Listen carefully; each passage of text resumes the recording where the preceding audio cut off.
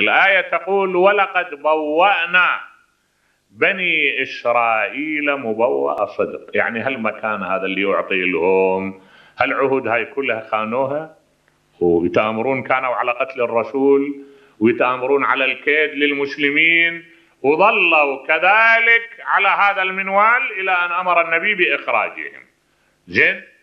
ثم انتقلت الآية الكريمة. قالت ورزقناهم من الطيبات. وفعلا كانت طيبات عندهم عجيبة في مزارعهم. أفضل أنواع المزارع عندهم أفضل أنواع النخيل عندهم الأموال عندهم كثيرة.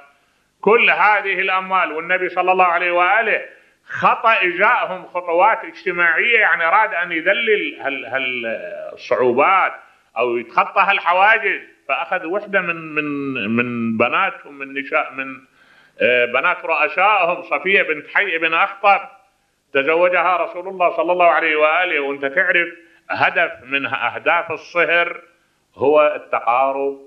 وأراد رسول الله صلى الله عليه وآله أن يستل شخيمتهم لكن حقدهم على الإسلام أكبر وأكبر وسيبقى إلى يومك هذا إيه. سيبقى إلى أن تقوم الساعة. مع العلم ترى الإسلام بالعكس ما عنده إزاءهم شيء. شوف هم إذا مروا بالنبي شوف كتاب اليهود إذا مروا بالنبي أو برجالات الإسلام شو يحملون عليهم؟ بينما كتاب المسلمين إذا مروا بموسى عليه السلام ها؟ ومروا بأتباع موسى ممن عرف بالإيمان يكرموه ويأخذون بآرائه ويذكرون نظرياته. نعم إذا هو مستقيم.